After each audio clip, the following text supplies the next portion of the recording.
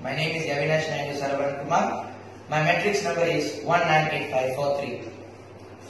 Good evening. My name is Thebban Seenivasan. My matrix number is 196382. Today we are going to solve a problem that uh, solve a differentiation problem that's involving real life application. And our real life application is a rising balloon.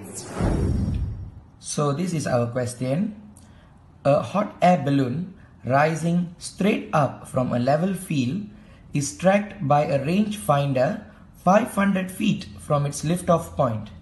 At that moment, the rangefinder's elevation is pi over 4 and the elevation is occurring at the rate of 0.14 radian per minute.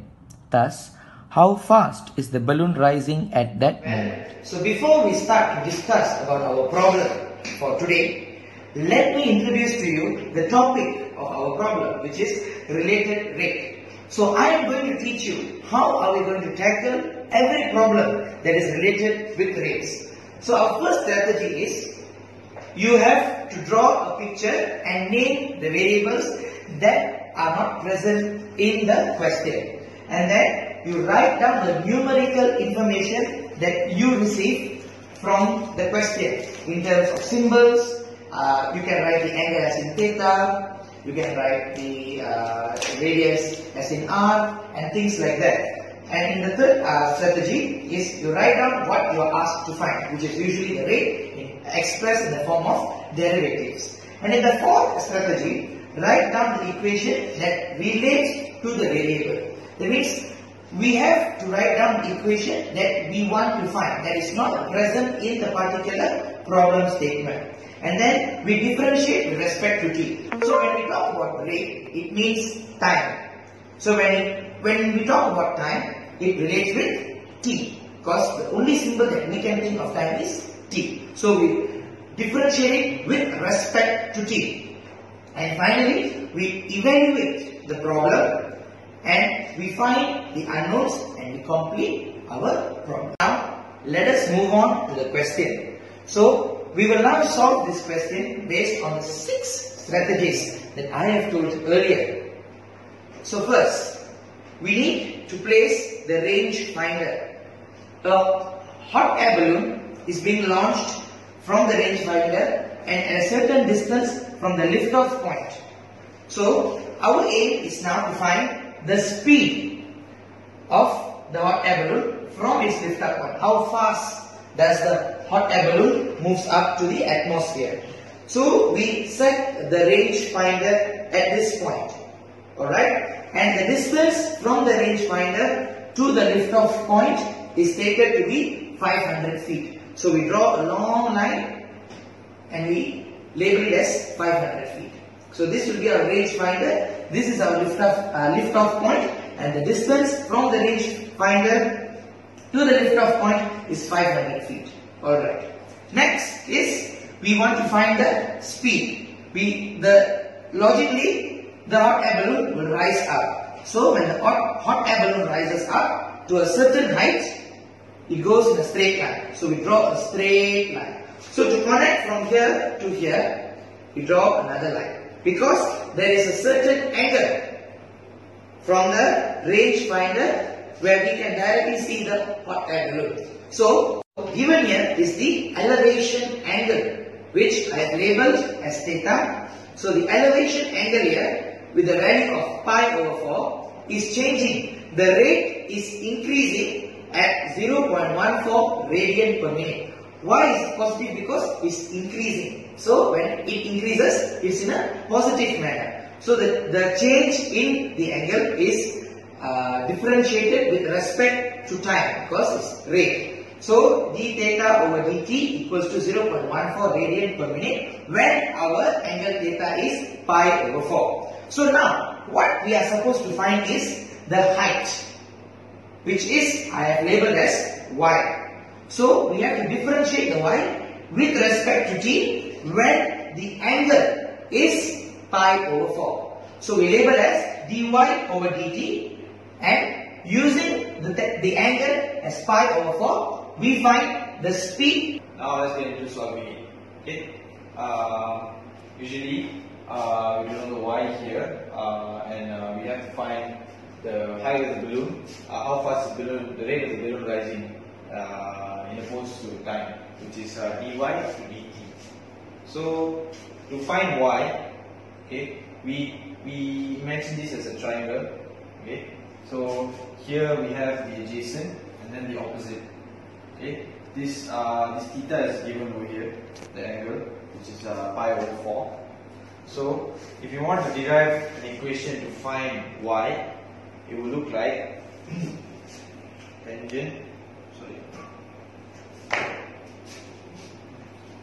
tangent theta, which is O over A, which is uh, basic trigonometry. Uh, so as I said earlier, we will uh, take the, will use the tangent theta, which uh, is equal to opposite over adjacent, which is uh, the basic trigonometric identities identity. Whereas, whereas the O shows the y, and the A is the adjacent, which is uh, valued at 500 feet. So if we were to plug in our values, look like this. Okay, right now. Uh, now what we want to do is to make y as the subject because that's our focus in uh, in uh, completing this uh, differentiation. Okay, to make y the subject, we will transfer all the values to the other side, and uh, what we will get is 500 tangent theta. Okay, what I want to do now is um, to differentiate y with respect to uh, Uh, so what? Uh, so that we can uh, find out what is dy over dt using parametric differentiation. So dy over do we get um, 500 secant square theta. Okay. So now that we have both of our values, find this. Uh, what we'll do now is uh, basically compute dy over dt, which is um, dy over do times do over dt. As you can see, this cancels off, and if we, if we, if normally this cancels off, and we just multiply both of the values, and we get whatever is left uh, will be dy over dt. Okay, so now we, in our values here. dy is um, 500 secant square theta, and do over dt is sorry. So do over dt is 0.14. Okay. Um, secant square, uh, we can actually plug in uh, the, our values for theta because it's given already. So what we do now, so we'll uh, substitute the value of theta inside into next to secant square. The value of theta will be secant square pi over 4 times 0 0.14. We all have our values substituted into the equation. What I have to do now is uh, calculate and uh, calculate all of this and what we'll get is so as for the value here uh, you can't plug this value into the calculator uh, as you, you can see there's no values in secant square in the calculator so what we do now is we'll uh, compute what is uh, secant secant uh, secant pi over 4 this uh, will give you a value which is square root of 2. What we're going to do now uh, here is we're going to substitute this value in this. So you write back our equation. Since this is second square, this is second square, square will carry forward into this value as well. And we, if we calculate this value, we're going to get 140 feet because that is our unit of measurement for the length or the height in this case over uh, sorry, per unit of time. Our time is minute. So that's the answer. Um, as you can see, we have uh, completed the problem, and um, hope we hope you guys enjoyed this video. And as always, thank you. Thank you.